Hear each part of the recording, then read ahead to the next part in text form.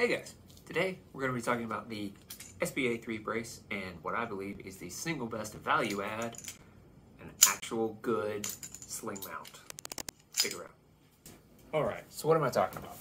Well, this is a modification that I didn't come up with, but um, I'll, I'll have a link down below to the original source. I followed that Genius's tutorial and I really like the way that it turned out and I wanted to make a video about it. Because it's very simple and it doesn't require any permanent modification to the brace. So let's look at what's involved. So what this consists of is the regular side folding mechanism from the brace, which has a specific shape that interfaces on the brace itself. Um, and then a SGI sling mount that I have modified to fit right over this,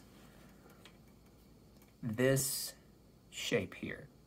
Now this particular shape um, slots into the folding mechanism here. And basically what this is doing is adding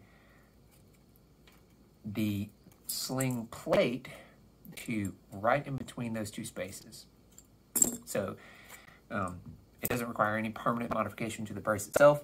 Um, you're not changing anything, you're not manufacturing anything. All you're doing is adding a thin slot of metal right over the top of this molded piece of plastic. And then sticking out the side here, you have an actual sling loop that you can utilize. When I was making this, um, I used a drill to drill out a, a starting slot and then a Dremel to get rough shape, not too much because the, the, the edges are very thin. Um, and then I use files uh, to actually file out the actual square shape here. Um, the actual shape that I ended up with is about 0.89 inches or 22.6 millimeters uh, by 0.59 inches or 15.1 millimeters. You just clip that part off and then file this down um, until it fits about the right size. Mine's a little big in places, a little small in places, but um, it fits flush and I think it turned out super well. So in putting this back, you just insert it in between the two, in between the plastic and the metal hinge Your nut here and your your screw your bolt. Use your nut and bolt and cinch it down so that the metal plate is sandwiched in between uh, the brace and the folding mechanism. And there you go. Here it is, mounted on my Z-Pap. Um, as you can see, the you know classic style sling mount.